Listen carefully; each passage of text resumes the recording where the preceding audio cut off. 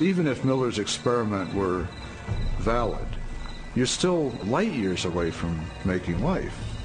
It comes down to this. No matter how many molecules you can produce with early Earth conditions, plausible conditions, you're still nowhere near producing a living cell. And here's how I know.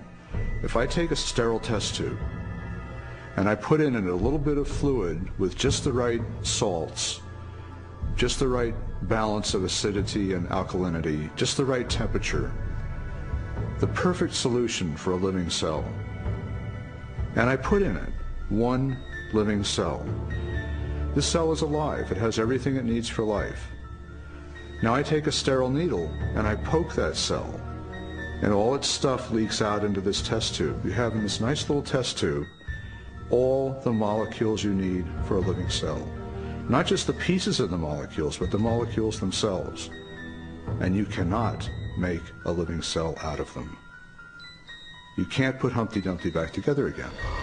So what makes you think that a few amino acids dissolved in the ocean are going to give you a living cell? It's totally unrealistic.